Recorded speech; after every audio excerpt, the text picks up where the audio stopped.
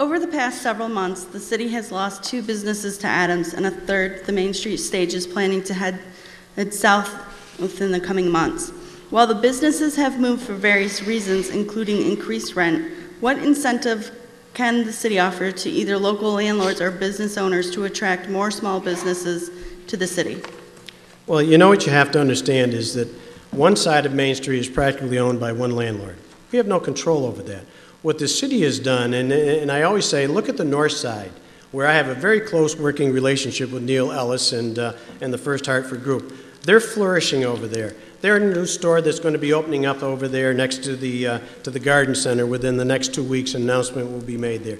They're stepping in to, to, to save the theater. They're working. I can't control what happens on the other side of the street. I can tell you what we have done and look at the improvements for people to, to think back. We redid Veterans Memorial Drive, I believe, five or six years ago in which we created the Veterans Memorial. We shrunk the number of uh, the, the width of the highway. We got the landlord to fix the back of the property, to make improvements. We've done all those things, but, and we've also created a new housing element in the downtown where you have condos selling for over $300,000, 250,000, and, and so on and so forth. The downtown is not going to come back, and I'll maintain this, and I've said this all over the country when I speak to various communities. You have to create a neighborhood in your downtown. It is slowly happening. When that happens, the best neighborhoods in this world are located right in New York City. Everybody knows everybody. And that's how you revitalize your downtowns, whether it's North Adams, whether it's Pittsburgh, or whether it's Lowell, Massachusetts. That's what you have to do. Bring that housing to the downtown, then you're going to see a flourishing. But with it, you have to have the arts and the cultural attractions with it. It's all part of a very simple game plan.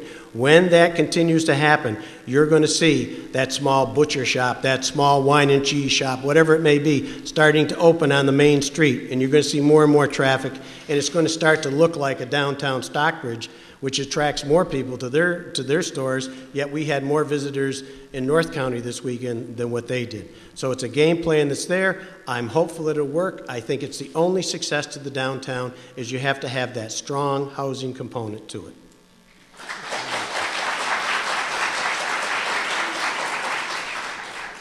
I think a good part of this, I think I have to, in a sense, agree with the mayor, but there will be a couple of points. Um, Mr. Ellis has been a, a great, a great uh, neighbor and a great investor in the city of North Adams. I had the pleasure of meeting him a couple of years ago through United Way, and uh, he's done a great job over there. The issue with that development is, and I still think when it goes all the way back to Kmart, is the fact that unless you know it's there, you don't know it's there.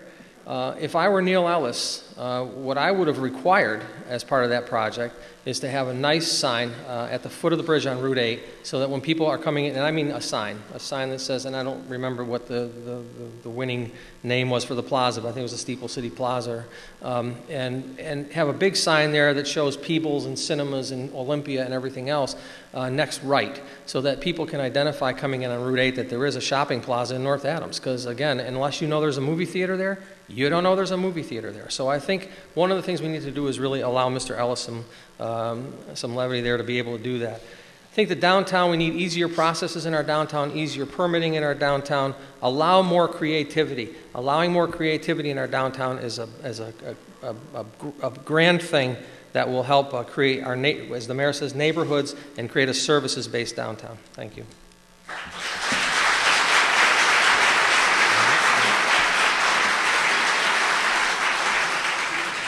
No, I, um, I, I, think that what, what has to, when you, when you talk about the permitting process, and, and again, another criticism that we've heard 95% of all applicants that go before the North Adams Planning Board are passed in one meeting. 95%. Those that don't pass are usually because there's neighborhood opposition and other concerns about it. That's why we have it in place. But you know what? Drive around the city. See the beautiful projects that have been constructed. Look at, remember what the, uh, the, uh, the Big Y used to look like. Remember what uh, uh, this, the, even the Stop and Shop project? They wanted to put in a very poorly constructed project. We said no. We set our standards higher, and I'm proud of the work that the Planning Board does. And I'll tell you, we're very fortunate to have such dedicated volunteers in this city.